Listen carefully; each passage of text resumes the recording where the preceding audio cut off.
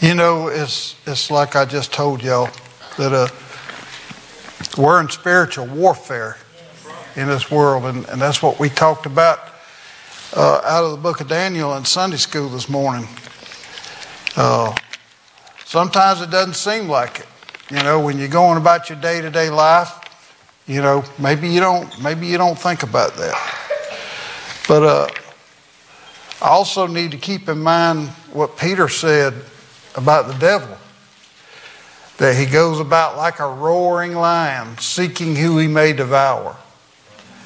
And you may not look at it, you know, this, this little country church stuck out here to, with hardly anything around it much. You know, what's to be bothered right here? But I can assure you that uh, Satan's emissaries or ambassadors or whatever you want to call them want to see this church destroyed because that's what he's all about stealing, killing, and destroying. And uh, he doesn't like the church. He doesn't like the church in any way, shape, or form. He doesn't like you. He don't like Christians. He might not can take your salvation, but he'll do everything he can to make sure that your witness isn't any good. Doesn't bring anybody to Christ. But uh, we're going to be looking at a couple of scriptures here. Uh, first one, I want to read the first verse of uh, chapter 32 of Second Chronicles.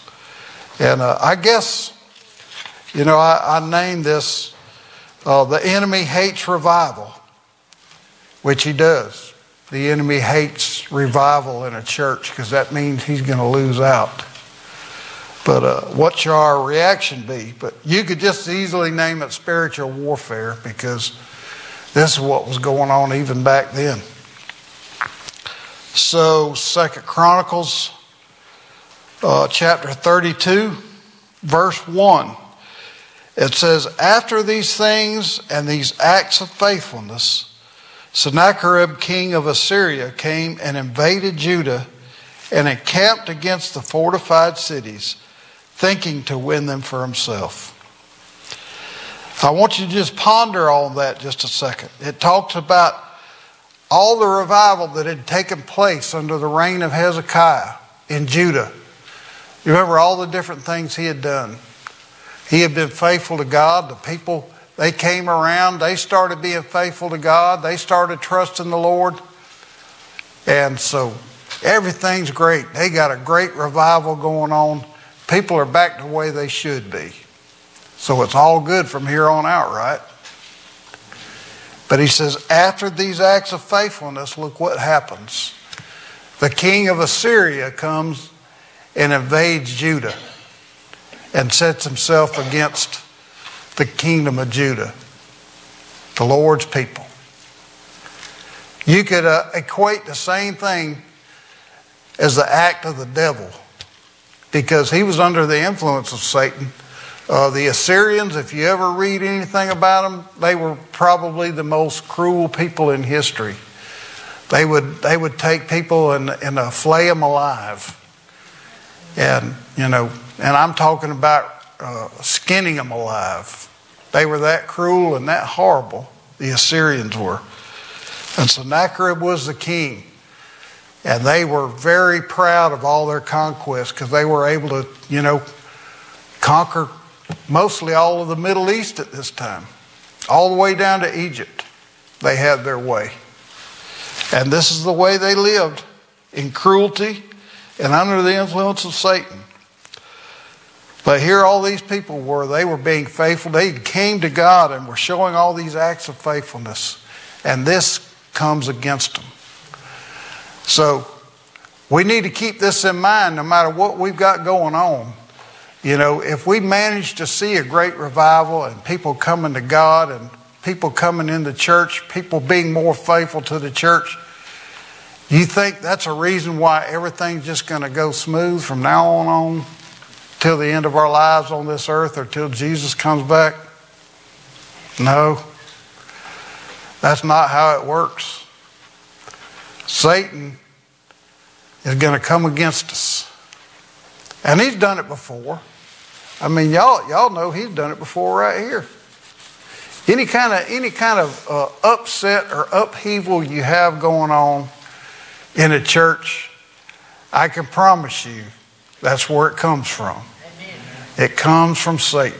That's right. Uh, he may be using people, he may be using his influence over people where they're too proud or they're, you know, too self centered or whatever it is, but he's going to take that and tweak it so he can downgrade a church.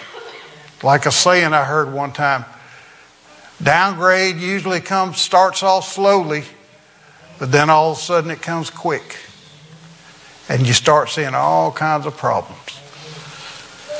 But we're going to look at what King Hezekiah did. If you'll, if you'll now turn to 2 Kings chapter 19. Hezekiah's been warned. I can, I can tell you about all this other stuff that they did, but I'm not going to read all that. But they started trying to do things to keep the king Sennacherib and the Assyrians from coming into their city. The first thing they did, they started building up the walls you know, to make them harder for the Assyrians to get into.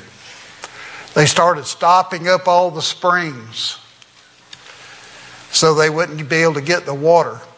But I, I can tell you, none of that was going to stop them. None of that was going to stop them. They were going to be able to get in without the Lord's intervention. And it says in chapter 19 of 2 Kings, verse 1 as soon as King Hezekiah heard it, he tore his clothes and covered himself with sackcloth and went into the house of the Lord. That's what people did back then when they when they were just astounded by something in great grief or mourning or or didn't know what to do. They'd tear their clothes. Don't do that today. But uh, and uh, you know, probably don't need to cover yourself in sackcloth, but that's totally up to you. But uh, this was serious business with them. They would also they throw ashes on their head. This was a great sign of mourning back in those days. And for the king to do it, that was really serious. He knew the seriousness of this problem. Yeah, they were in the middle of a great revival. But guess what? Satan didn't like it. He did not like it. So it says, King Hezekiah in verse 2, it says, He sent Eliakim, who was over the household, and Shebna the secretary, and the senior priests covered with sackcloth to the prophet Isaiah. Isaiah was here during this time, the son of Amos. They said to him, Thus says Hezekiah, This day is a day of distress, of rebuke and of disgrace. Children have come to the point of birth, and there is no strength to be them forth, bring them forth. It may be that the Lord your God heard all the words of the Rabshakeh, who was the official in charge, left in charge by Sennacherib, the king of Assyria, whom his master, the king of Assyria, has sent to mock the living God and will rebuke the words that the Lord your God has heard. There lift, therefore, lift up your prayer for the remnant that is left. So, this is what's going on right now. He said, you know, they had so little strength, it was like a, a woman who'd run out of strength and couldn't bring forth a child in childbirth. That's how bad it was. They were just, they were just at a point where they couldn't do nothing else. Well, I guess you could say Hezekiah saw the writing on the wall that he was not going to be able to prevail unless there was a divine intervention from God into the life of Judah. Assyria had already conquered the northern kingdom of Israel. All there was was Judah left in Jerusalem. And now the king of Assyria decided he was going to take it. The rough, rough times. And you know what?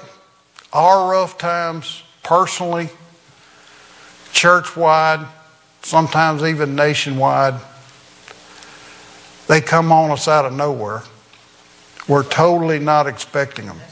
Not prepared, as we talked about this morning.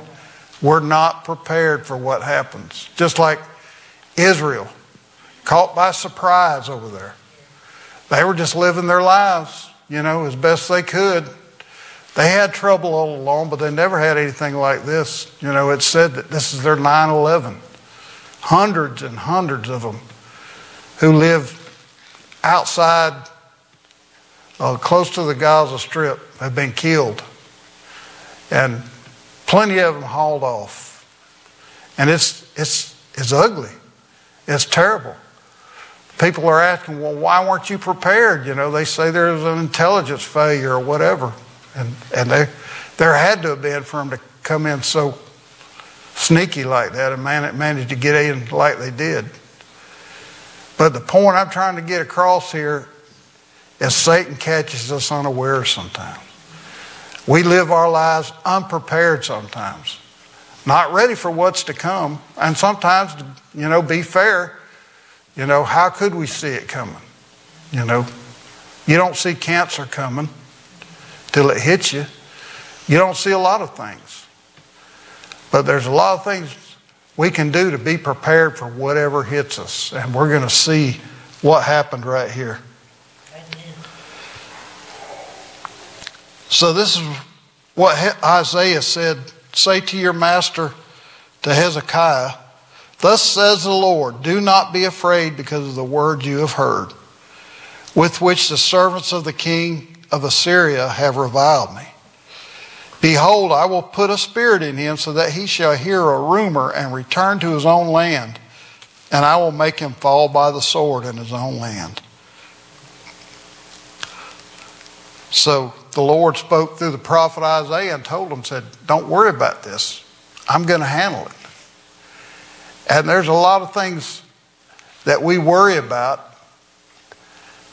that if we just leave it in God's hands, we could trust that He was going to take care of it. Amen. You know, uh, it's just like our church. I don't worry about it. I don't worry about the future of the church because it's in God's hands. All I want is for all of us to be on one page and in the same accord and prepared for growth.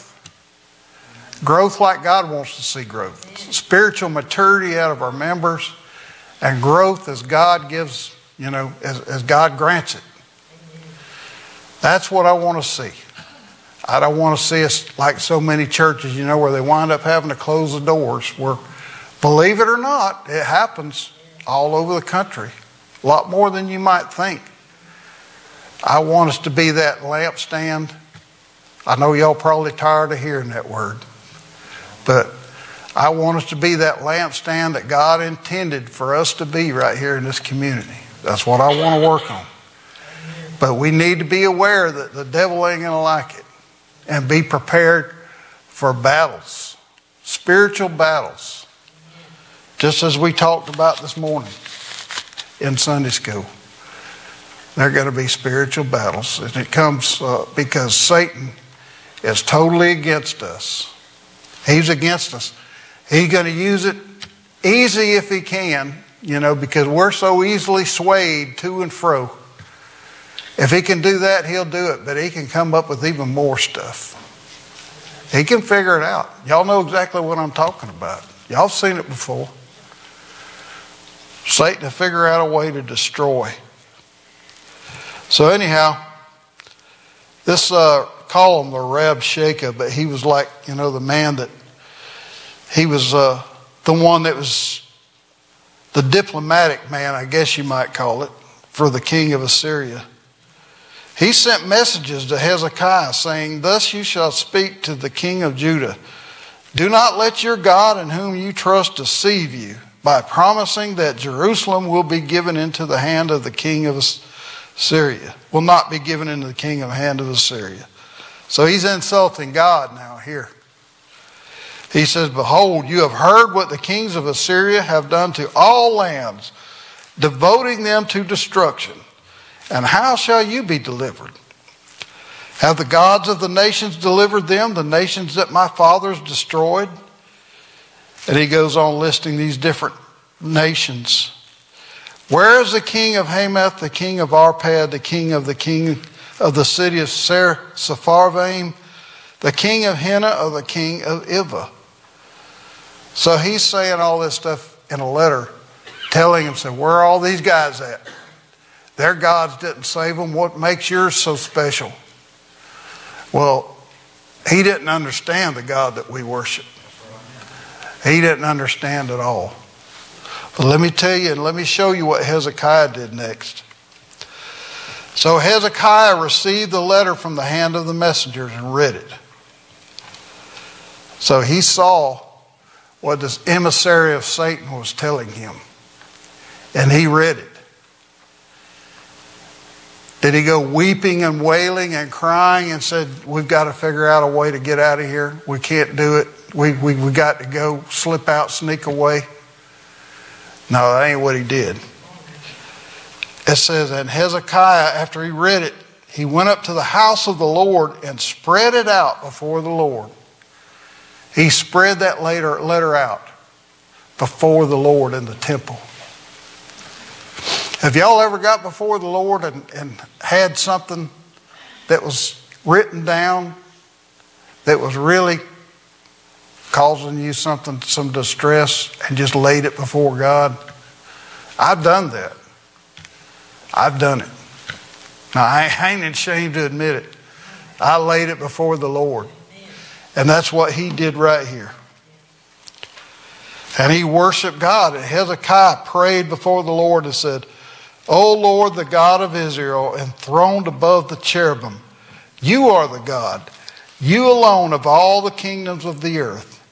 You have made heaven and earth. Amen. Incline your ear, O Lord, and hear.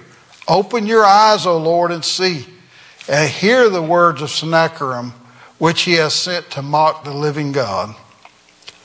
Truly, O Lord, the kings of Assyria have laid waste the nations and their lands and have cast their gods into the fire. For they were not gods, but the work of men's hands, wood and stone. Therefore they were destroyed. So now, O Lord, our God, save us, please, from his hand, that all the kingdoms of the earth may know that you, O Lord, are God alone. So he sent up this prayer to God, and, and something in our Sunday school class made me remember that. You remember when Daniel was praying before the Lord, and the angel appeared before him and said, The time you started praying, God was sending an answer. God was sending an answer. When you have something burdening your life, and you trust the Lord and you love the Lord and you worship Him and you come before Him and lay it before Him, He's already sending the answer. He's going to make it known to you. And even if it's delayed, and it can be delayed by days, weeks, months, maybe years. If you're praying for somebody to be saved, you know, you may not even live to see it. You may have prayers answered that you don't live to see, but are you going to trust God that He's going to answer these prayers for you? Are you going to believe in Him? Are you going to believe like Hezekiah did? Have you ever got down on your knees before the Lord and spread out your prayers before Him and said, Lord, look at this. This is what I got. I need you to help me with this and give God the glory for it? Let me just tell you, He's waiting. He's waiting to hear from you. Just like Daniel, He's waiting to send you an answer. He's going to work it out in His time and His way, but He's waiting to hear from you. And that's, that's what I'm doing right now. This is the thing I want about revival. I'm waiting for God to answer us. I'm waiting for God to work it out in our lives. I'm waiting, God, to make it happen right here with me and in this church. And I'm trusting He's going to do that. I'm trusting Him and I'm believing that that's exactly what's. So, anyhow, we're not going to go into all this, uh, uh, what God says about uh, through Isaiah. But if you look down there at verse 29, he says, And this shall be a sign to you. This year eat what grows of itself. In other words, get what you can and survive. Survive. And in the second year, what springs of the same? Continue to survive during your struggles, during your times. You know, we say, "Well, I wish God would would uh, pour out His hand on me and bring me all this plenty." Sometimes you just got to hang in there and keep trusting God and survive through your tough times. And just keep your faith in God through all of it. And then in verse 30 he says, And the surviving remnant of the house of Judah shall again take root downward and bear fruit upward. I missed something there. It says, Then in the third year sow and reap and plant vineyards and eat their fruit. So after survival, things start getting better for them. Trusting in God that He's going to make it right for them. Hanging in there. Hanging in there. Taking root downward. Let that root that you have of your faith go downward into that soil where it can grow. That soil is the Word of God and your obedience to God. And then it's going to bear fruit upward. God's going to see it. You're going to bear fruit. It'll be beyond survival. You'll be trusting in God. No, this is not a prosperity gospel. This is just telling what the Lord is going to do for you if you trust in Him. Doesn't mean He's going to make you rich. You know, you're not going to have uh, jet airplanes like them TV preachers talk folks into paying for, or big mansions. If you get all that, that's great. I'm proud for you. But God is going to help you to do more than just survive. Amen. He's going to put you in a place of favor, and that favor is going to be spiritual by trusting in Him, and you're always going to have what you need. It's always going to be there. He goes on to say, For out of Jerusalem shall go a remnant, and out of Mount Zion a band of survivors. The zeal of the Lord will do this. Satan's not going to overcome us. We're going to survive the attacks of the devil if we trust in God and put our faith in Him. Laying it before Him. Laying your letter of complaint before Him and saying, Lord, this is what I got. And I need you to help me in this time right now. Have you ever been that desperate to do something like that? I can tell you I have. I'm not ashamed to admit it. I've been so desperate I laid it out there before the Lord. And He answered my prayers. Praise God for that. And let me show you what happened. This is really a long story. You'll have to go back in there and read it all for yourself about how this all turned out. But uh, this is what the Lord said He shall not come into this city or shoot an arrow there, nor come before it with a shield to cast up a siege mound against it. By the way he came, by the same he shall return, and he shall not come into this city, declares the Lord. For I will defend this city to save it, for my own sake and for the sake of my servant David. That's what the Lord told them. And they believed what God was going to say. They didn't know how he was going to do it. They knew they couldn't do it. They didn't have, they didn't have the armies to do this. They knew if they laid siege to that city, they were going to starve to death. But they trusted God. And this is what happened. Verse 35. And that night, the angel of the Lord went out and struck down 185,000 in the camp of the Assyrians. And when people arose early in the morning, behold, they were all dead bodies. These were all dead bodies. Can you imagine that? When God says He's going to deliver us, we're going to be delivered. I don't care what it takes, I don't care what it looks like. We're going to be delivered because He said so. Because He said so. And when people arose, they, they found nothing but dead bodies. Verse 36 Then Sennacherib, king of Assyria, departed and went home and lived at Nineveh. And as he was worshiping in the house of Nisroch, his god, Adrammelech and Sharezer, his son, struck him down with a sword and escaped into the land of Ararat. And Esarhaddon, his son, reigned in his place. So this king Sennacherib, who was going to destroy Judah, look what wound up with him. His army was destroyed before the walls of Jerusalem by the angel of the Lord coming through at night and killing every one of them. But not him. He ran home only to be killed in front of his uh, the altar of his idol by his own sons. He was slain. So God delivered Hezekiah, he delivered Judah.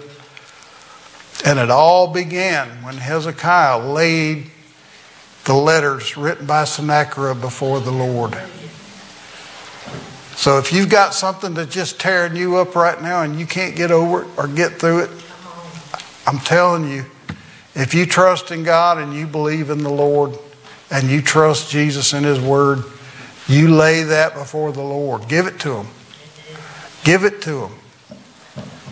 And ask the Lord to bring it forth, and I promise you that answer will be sent to you. It's on the way. It's on the way. And I pray the same thing for our church right here. I know God hears us.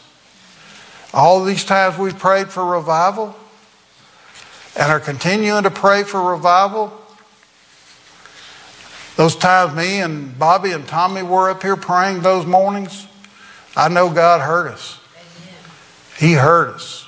And every, every member of this church was prayed for. Every single one by name was prayed for. And we're just praying that God's going to do a work right here in our church, in our community, and continue on. And also, I'm praying that our needs are met. If you've got something that's really on your heart and you want to lay it before the Lord uh, in private, that's fine. You do so. But just do it. Lay it before the Lord. Or you can come down here right now and lay it before the Lord if you want. And if you don't know Christ, this is a great morning to figure out what do I have to do. And I'll be glad to pray with you and, and help you any way I can. Uh, I'll be glad to talk to you. And we can talk about what it means to come to Jesus Christ. If you want to talk about joining this church, we can talk about that. And uh, it's all good. The Bible says in Proverbs chapter 3, it says, Trust in the Lord with all your heart and don't lean on your own understanding. In all your ways, acknowledge Him and He will direct your paths. That's what the Lord wants to do for us because He loves us. He loves us. God doesn't want to see anyone perish, but that all should come to repentance. So as we do the uh, as we do our invitation, if you'd like to come down here and pray or whatever you'd like to do, talk to me.